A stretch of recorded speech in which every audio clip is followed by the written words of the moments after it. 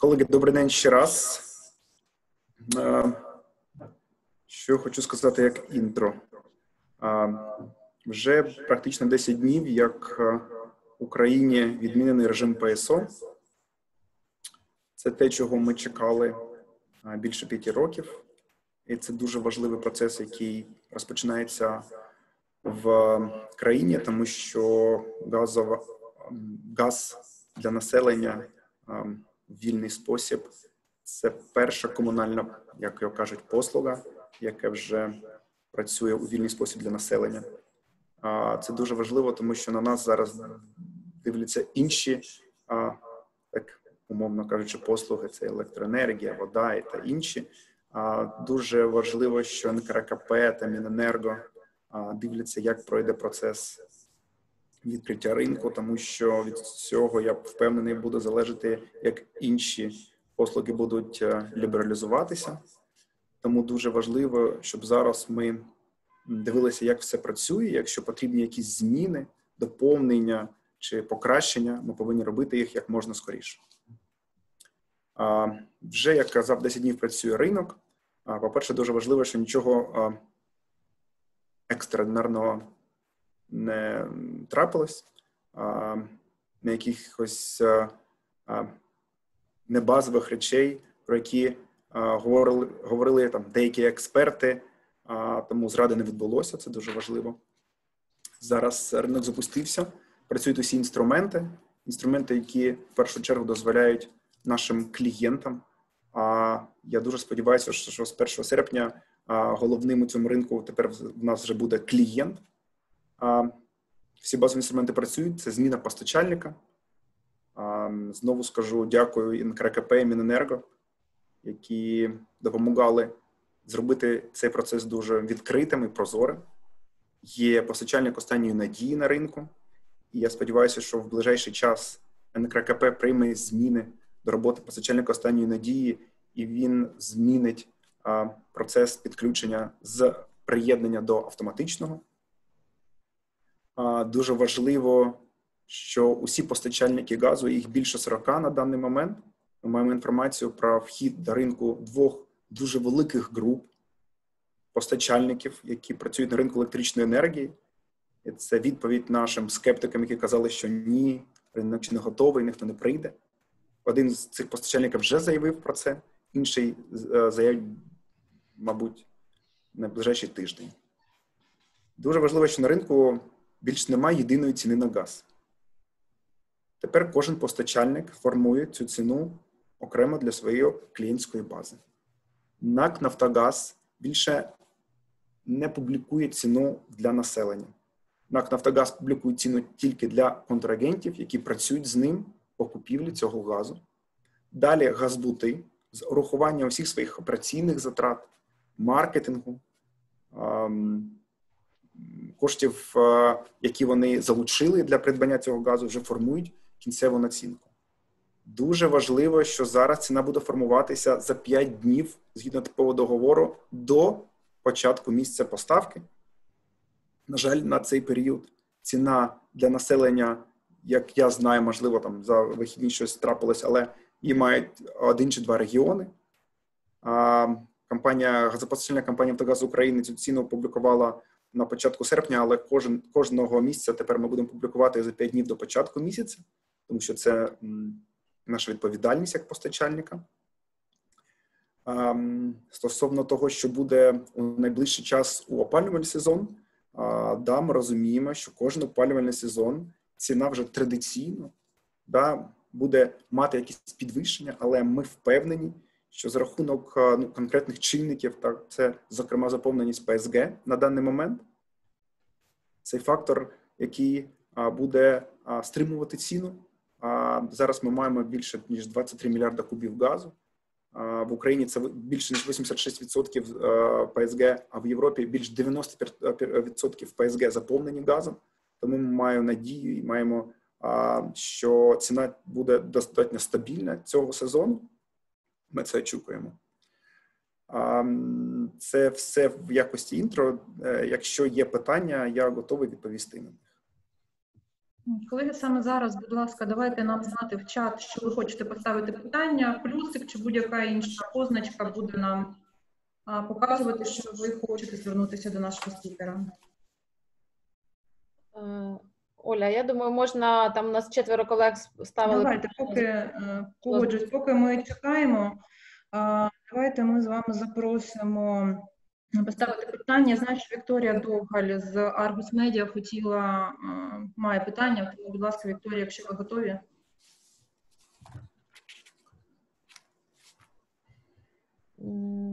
А Вікторії зараз нема. Вікторії нема. Марина Молька, будь ласка.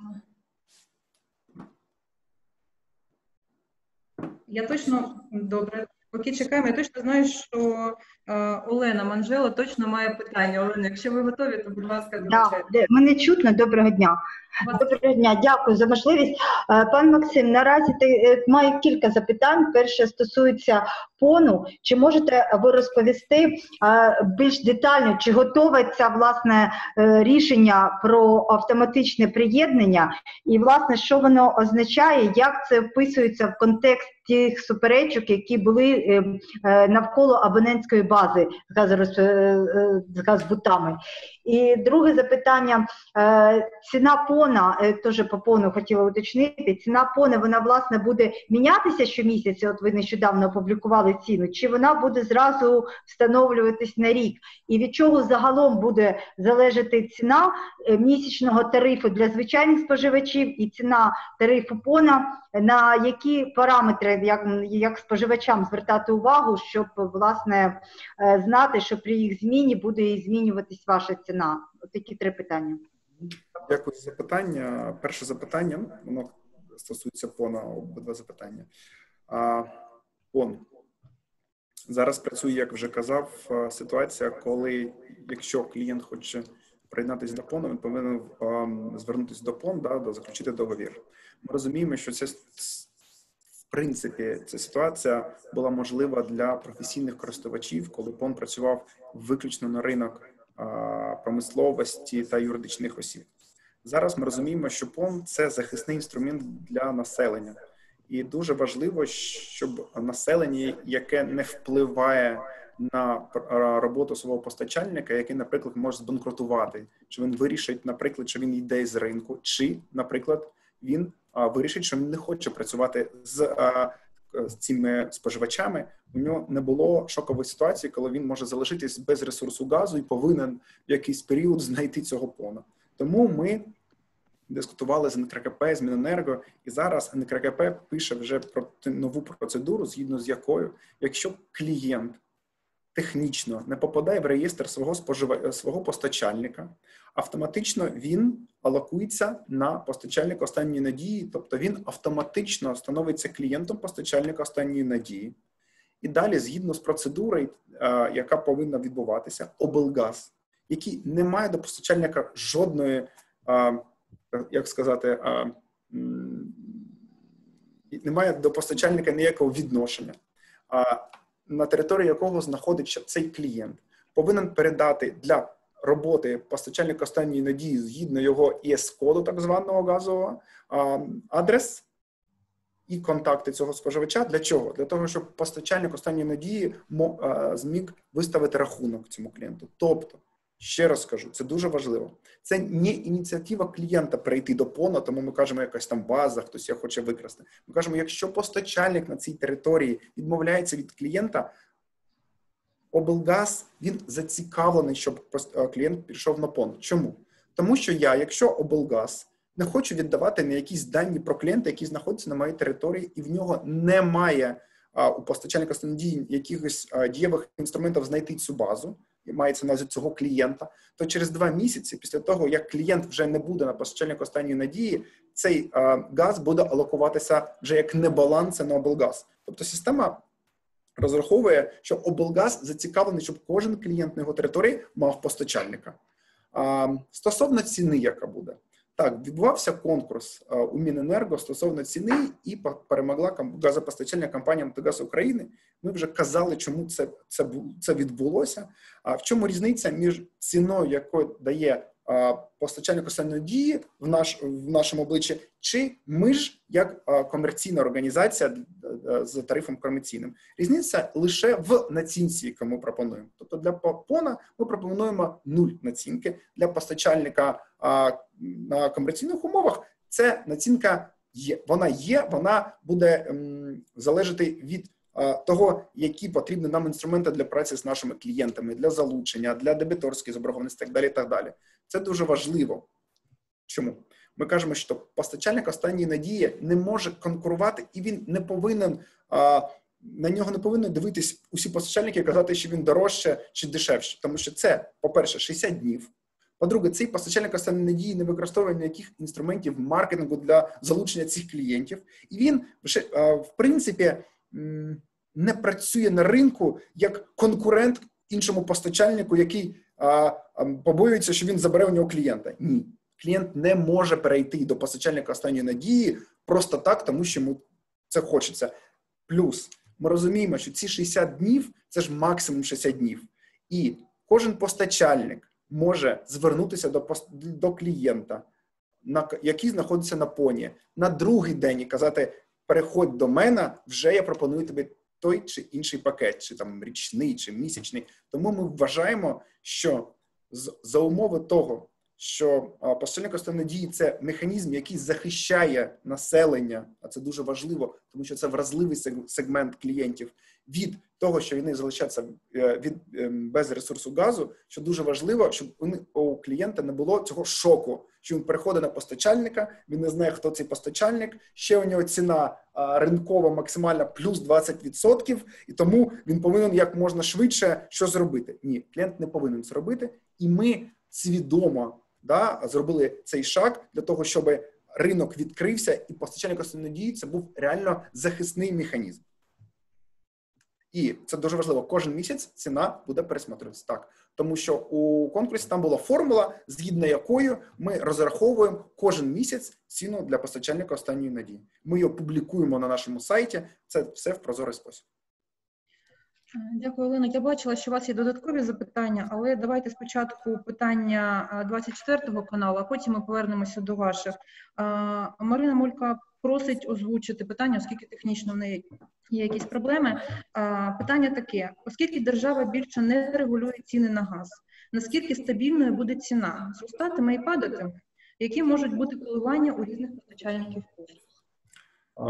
Дуже гарне запитання. Дякую. Дивіться, яка ситуація зараз. Зараз, коли з постанови 867 вже не регулюється ПСО для населення, в принципі, ціна на газ для населення вона складається з параметрів. По-перше, це газ як товар. По-друге, це тарифи облгаза на розподіл та на транспортування ОГТСУ. І це, це націнка постачальника. Ціна як товар це приблизно 70% ціни. Вона вже з лютого 2020 року не регулюється державою як стала одиниця. Тобто вона вже залежить від хабів, від ринку європейського та світового. Ви бачили, що з нею трапилось коли ринки пішли донизу, вона теж пішла донизу. І це дуже важливо, тому що клієнт розуміє, що ні Мененерго, ні Кабінет міністрів, ні хтось інший, окрім ринку, не регулює його ціну. Тому він розуміє, що якщо в опалювальний сезон ціна традиційно вища, він готується до цього, тобто щось робить. І він і постачальник, я далі скажу, що у літні періоди він розуміє, що ціна звичайно падає. По-друге, яка буде диференціація у цінах? Що е, стосується ем, тарифів на розподіл та на транспортування, вони сталі, вони кожен місяць одні ж е, ті ж самі, і вони залежать від НКРКП, який встановлює ці тарифи. Єдине, що у нас зараз залишається, це націнка постачальника. І в структурі цін на газ займає до цього в період ПСО 2,5%. Зараз вона буде займати, я впевнений, більший, більший процент. Чому від чим відсоток? Тому що ми розуміємо, що зараз є дуже дві е, е, важливі речі. Перша річ, після ПСО кожен постачальник повинен купувати ресурс газу для своїх е, клієнтів. Тобто не брати його на безоплатній основі у НАК Нафтогаз, а купувати для цього потрібні кошти. Він бере кошти в банку чи у акціонера і купує цей ресурс. Це раз. Йому потрібна вартість капіталу. Друге, що йому потрібно, йому потрібно працювати з боргами. Тому що, опять, вертаюсь до ситуації з ПСО знову. Що коли був ПСО, все, що клієнти не доплачували, усі приватні постачальники збути перекладували на НАК Нафтогаз. І ці збитки по ПСО зараз заборгованість збутів перед НАК Нафтогаз 24 мільярда гривень. Зараз вони повинні працювати з цими боргами і повертати 100% тому, у кого не купують цей газ. Це не не, не тільки НАК Нафтогаз. Вже є 10 чи 20 імпортерів та 700 постачальників. Вони купують газ там, де вважають за потрібне. По-третє, маркетинг. Вони повинні розуміти, що зараз клієнт буде обирати постачальника в дуже легкий прозрачний спосіб. Тому їм потрібно працювати з клієнтом. Працювати з клієнтом у тій спосіб, який клієнт звик в інших е, е, услугах та сервісах: мобільні оператори, банки та інші. Тому, звісно, я вважаю, що націнка вона підросте. Але що є тим фактором, що буде стримувати цю націнку? Дуже просто.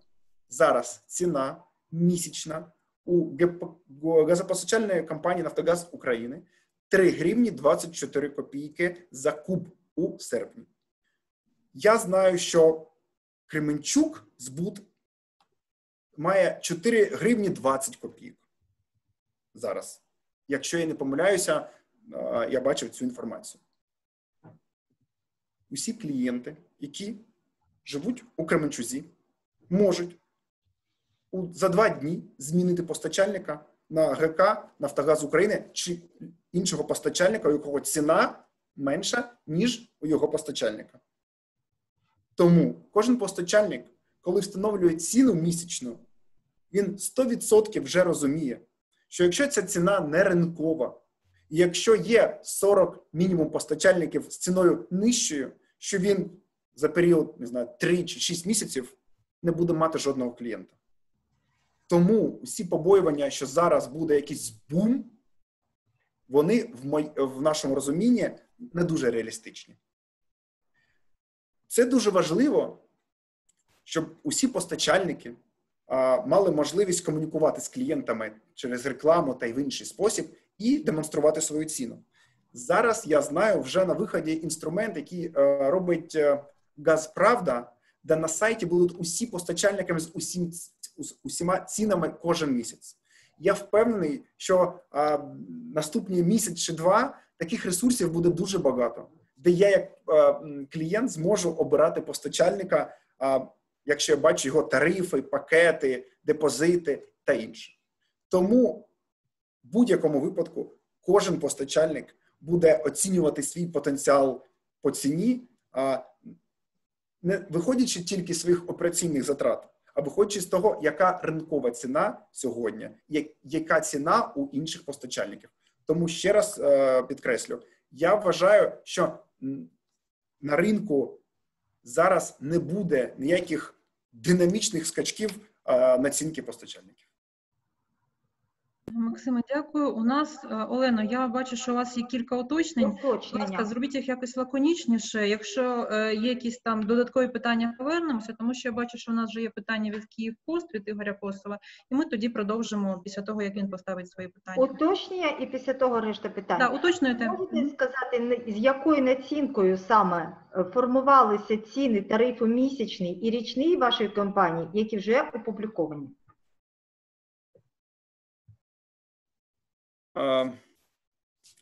Я вам скажу так: відповім на це питання. Газопостачальна компанія Нафтогаз України купує ресурс газу у НАК Нафтогаз у компанії Нафтогаз Трейдинг. Це наш трейдер, який продає опціони, по цій самій ціні, що інші постачальники, яким вже запропонували цю ціну. Доволі прозорий спосіб. Да, в нас є націнка Зараз вона розраховується приблизно 5-6%.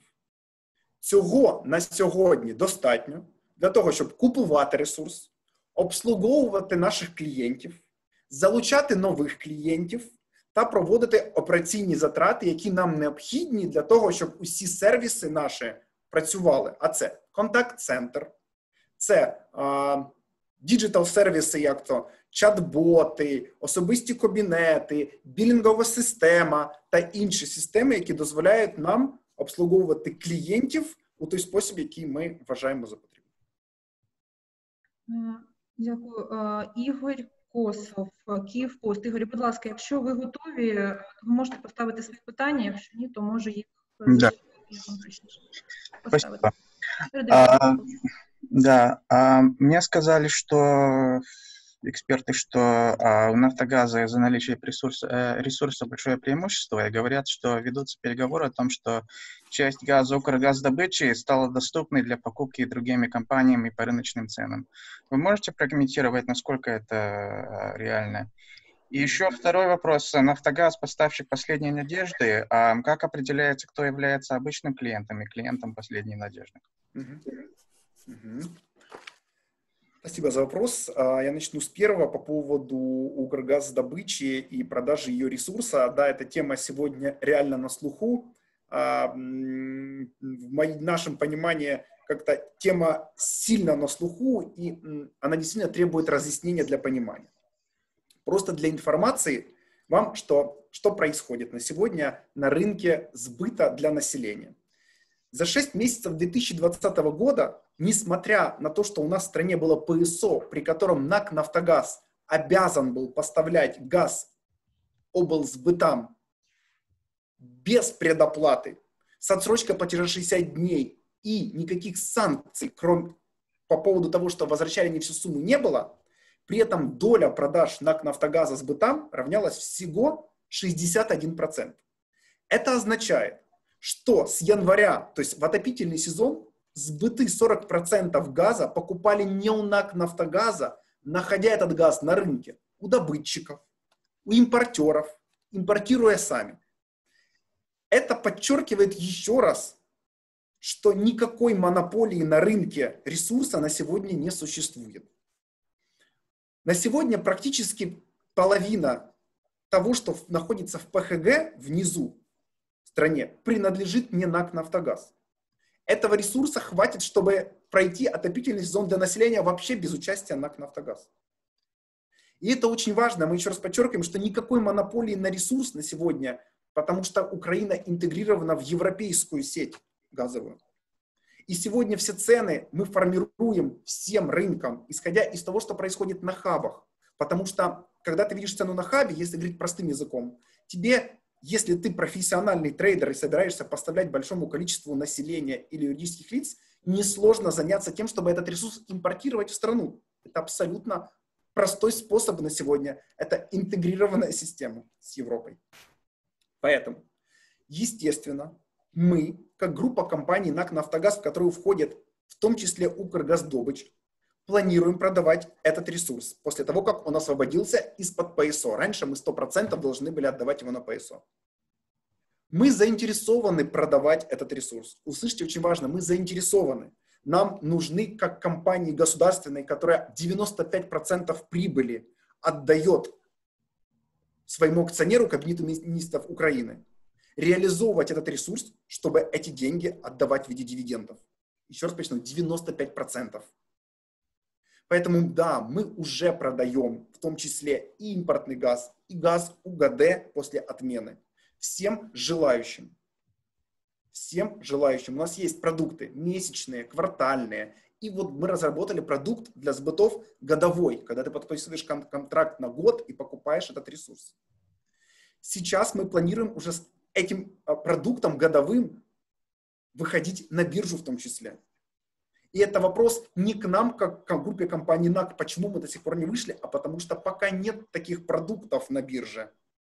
И мы говорили, что наша биржа УЭБ должна из торговой площадки превращаться в биржу, где будут стандартизированные продукты, клиринг и так дальше. И мы к этому уже идем, и мы абсолютно не скрываем, что мы к этому придем в ближайшее время, и будут эти продукты, и газ УГД в том числе будет на бирже. Хотя, услышьте, пожалуйста, нет никакой разницы теперь между газом УГД или импортным газом. Мы как группа будем продавать. мы как грубо продаем это от компании «Нафтогаз Трейдинг», потому что именно эта компания является, входит в коммерческий дивизион и продает клиентам большие объемы газа. Это очень важно. УГД – это компания, которая добывает. Компетенция продажа есть в коммерческом дивизионе, в который входит «Нафтогаз Трейдинг». Поэтому, еще раз, абсолютно все открыто. И все объемы, которые нам необходимо продать, мы будем продавать в прозрачный способ. Подчеркну, что сегодня те годовые контракты, которые предлагаются с бытам, они абсолютно идентичны по цене. Чтобы не было вопросов, в рыночный способ это или не в рыночный, а в абсолютно рыночный способ на сегодня продается газ. И мы, как газопостачающая компания «Нафтогаз Украины», покупаем за те же рыночные деньги этот ресурс у «Нафтогаз Трейдинга». И это принципиальный для нас вопрос.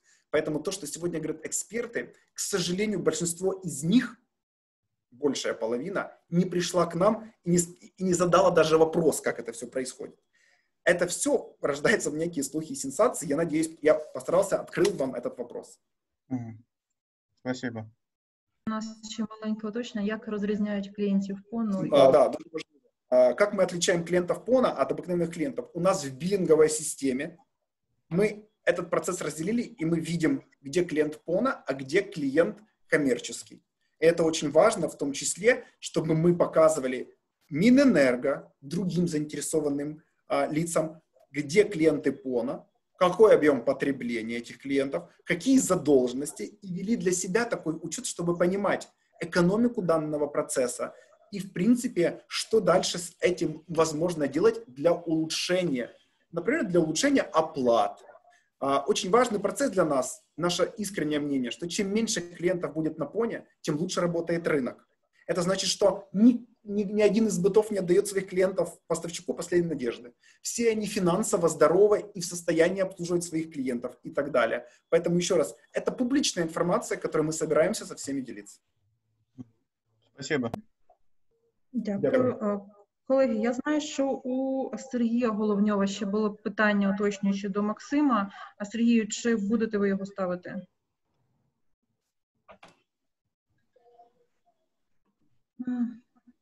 Так, поки чекаємо Сергія Олену, да, я пам'ятаю, давайте, задавайте ваші питання. Пан Максим, ще уточніть, будь ласка, коли КРЕКО буде розглядати цей новий автоматичний порядок переходу на ПОН, і, власне, 31 серпня спливає мораторій на відключення споживачів, що буде, якщо до 31 серпня такий автоматичний порядок не буде прийнятий? Друге запитання, 60 плюс, щоб знаходились люди на ПОНі, чи ви це підтримуєте? Хто має прийняти рішення, коли воно буде прийняте? Третє питання, хотіла вас спитати, чи є вже наскільки динамічний процес притоку клієнтів і чи є у вас взагалі клієнти на поні? І саме останнє уточнення, ви назвали 5-6% торгову націнку, ви будете працювати в фарватері цієї націнки, чи вона в майбутньому буде змінюватися і від чого це залежатиме? Дякую. Так, по порядку. По-перше, автоматичний пон, наскільки я розумію, в найближчим часом цей тиждень вже повинні бути документи, які повинні виноситись на відкрите обговорення і так далі. і так далі. НКРКП вже працює над цим досить досить щільно і обіцяє, що в найближчий час ми це отримаємо і будемо дискутувати. Точний строк не готовий зараз сказати. 60 плюс. Чи вважає за потрібним, щоб ПОН працював більше ніж 60 днів? Напевне, ні тому що ПОН це не є комерційний а, постачальник.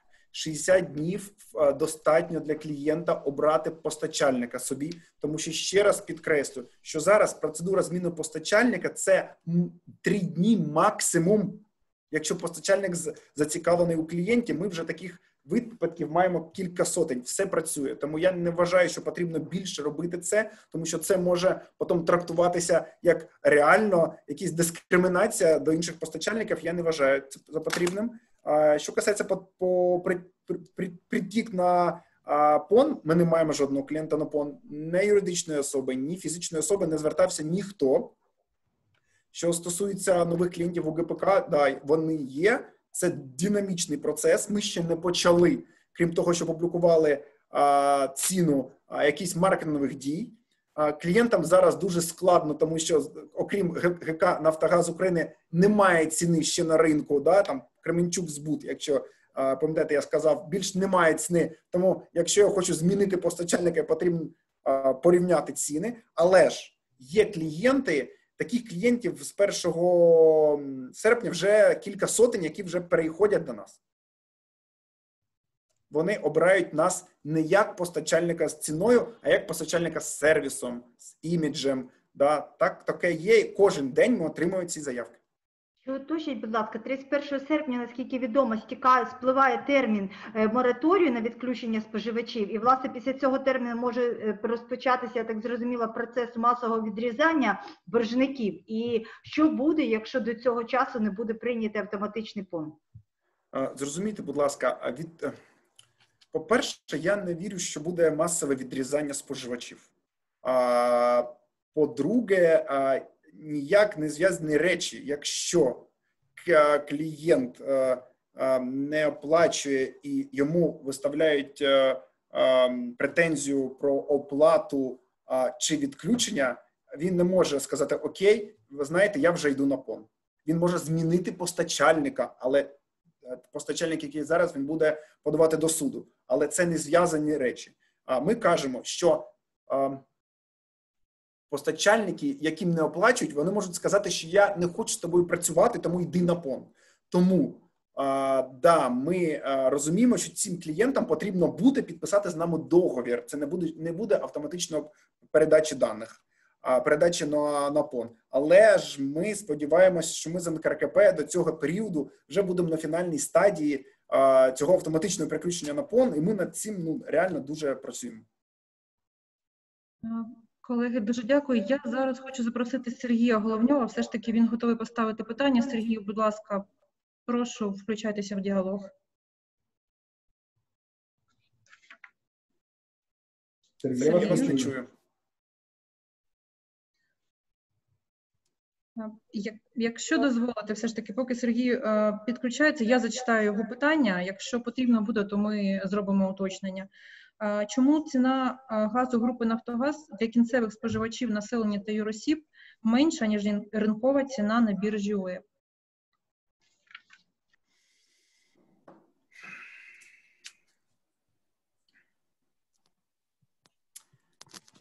Як я казав уже раніше, є продукти місячний, квартальний та річний.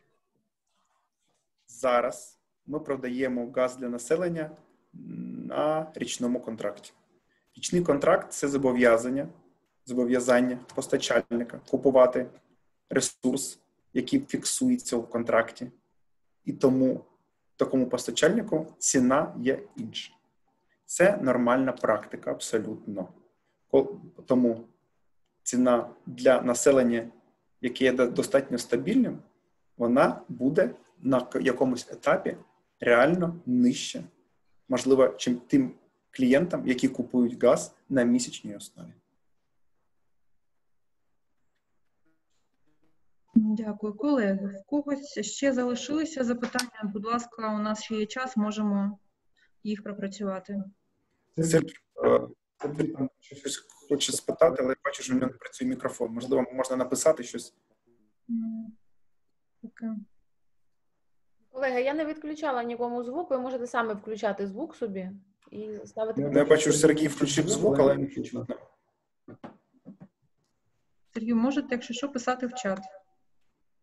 У мене тоді, якщо що, ще є одне уточнення. Пан Максим, ви сказали, що газопоставляющая компания, газбыты будут иметь перед Нафтогаз трейдинг одинаковые условия. А как э, будет формироваться цена э, для других трейдеров? Означает ли это, что именно газбыты и ваша компания для Нафтогаз трейдинг будет иметь какие-то, ну, я бы не хотела сказать слово особенные, но, в общем-то, какие-то преимущественные условия? Не буде. Кожен постачальник, який збирається постачати населенню чи іншим клієнтам на річній основі і зацікавлений купувати газ на річній основі, а це контракт, дуже важливо, контракт і зобов'язання по викупу цього ресурсу, він зможе отримувати певні умови. Тобто, ще раз зрозумійте, тут питання не в збутах. Традиційно у нас 40 ем, постачальників цих це я їх називаю збутами. Ми теж Нафтогаз України, ГК Нафтогаз України, ем, збут так званий. Да? Але ж ще раз, для усіх зацікавлених купувати ресурс на річній основі з контрактом на річній основі буде ціна така, як у і у збутів в тому числі. І скоро ми це вже на біржі будемо продавати, тому що зараз, в силу того, що ми а, стандартизуємо ці продукти на біржі, у нас є тільки так звані OTC, тобто прямі контракти. Але ще раз підкреслю, всі ці прямі контракти мають однакову ціну для того, щоб не було ніякої дискримінації. Колеги, час для запитань ще є, тому, будь ласка, якщо хтось щось хотів запитати і цього не зробив, то саме час цим скористатися і спитати. О, у нас Сергій Головньов підключається ще раз. Очевидно, Давайте почекаємо, можливо, цього разу буде більш успішно. Мене турбує також те, що в нас пані Наталка Прудка підключилася тричі, але не ставить питань. Е, мабуть, в неї якісь проблеми технічні. Сереж, ви з нами? Сергію?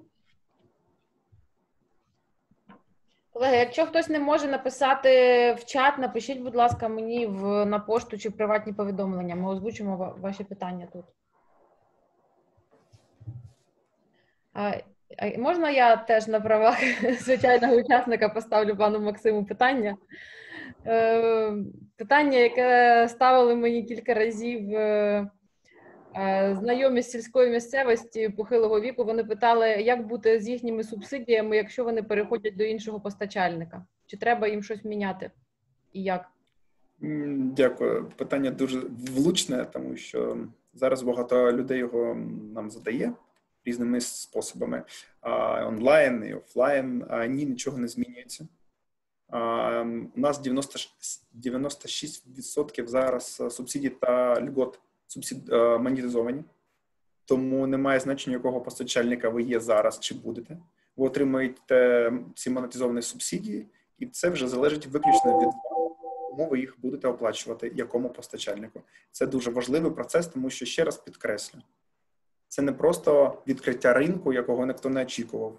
Це дійсно була дуже довга річна підготовка до відкриття ринку, і без, без монетизованих субсидій я вважаю, це було б неможливо. Угу. Ну, тобто клієнту не потрібно робити нічого такого, крім того, щоб повідомити свою соціальну службу про зміну постачальника. Правильно? Йому не потрібно інформувати про зміну постачальника. Не треба. Навіщо? Ні. Окей, дякую. Я бачу, колеги, що знову у Олени у нас є декілька уточнюючих запитань. Олена, поки Одне. колеги інші мовчать, будь вже залишилося, користуючись нагодою. Скажіть, будь ласка, було дуже багато чуток про майбутнє співробітництво з Укрпоштою, яка має розголужену мережу регіональних відділень. Наразі про це доречно питати у вас, чи продовжуються такі переговори, і чи власне можливо таке співробітництво, в якій формі воно буде, чи це власне краще питати у Нафтогазу? Дивіться, це така ситуація, що я ц- цим займається ГК Нафтогаз України. Ми це не секрет, що ми вважаємо за потрібне відкривати по всій країні центри продажу, не обслуговування, центри продажу для клієнтів. Я поясню, чому. Тому що, от зрозуміти, наприклад, місто Київ має 3,5 мільйона е, населення. Десь 600 чи 700 тисяч абонентів, клієнтів проживає, які користуються газом. Якщо я проживаю десь на Троєщині, а центр обслуговування буде на Позняках, це Харківський масив, це десь приблизно одна година авто, чи десь 40-50 хвилин їхати тролейбусом чи метро. Чи, чи вважає за потрібним їхати цілу годину для переключення?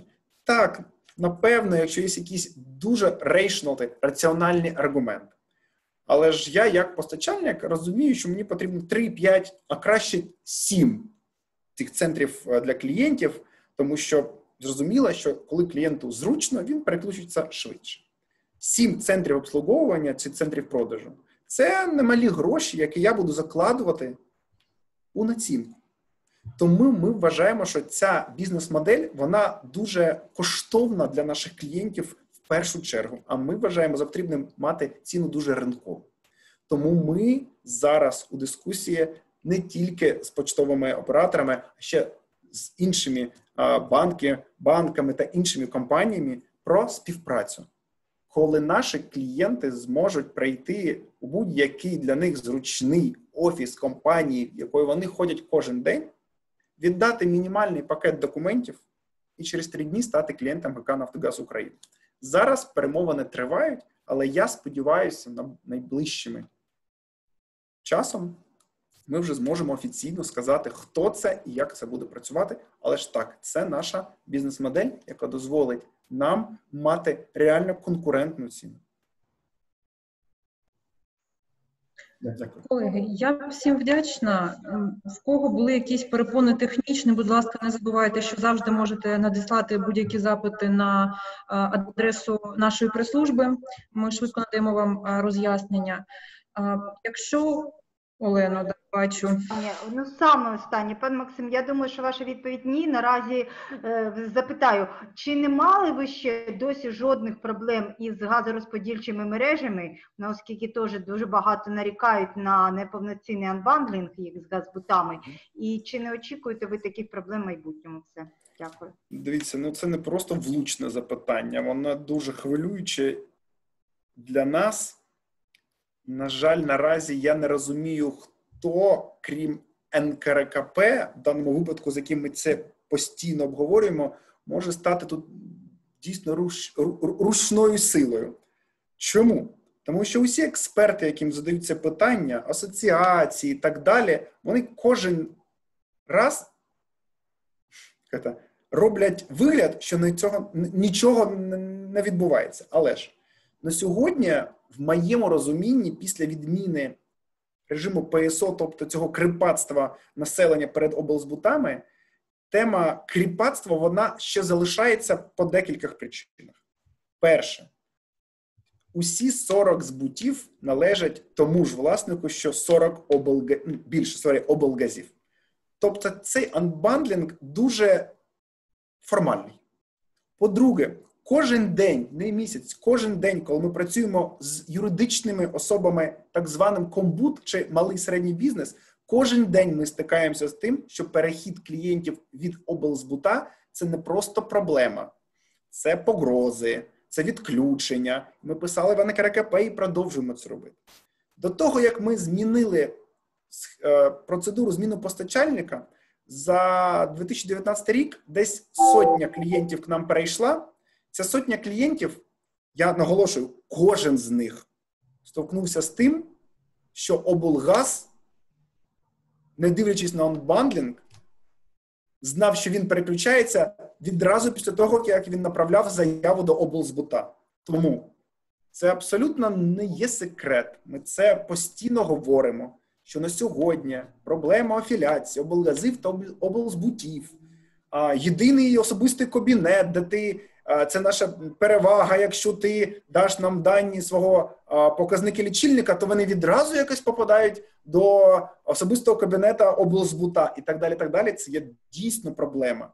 Тому це дійсно проблема для незалежних постачальників, які заходять на інші території, розуміти, як їм працювати, якщо облгаз завжди на поготові.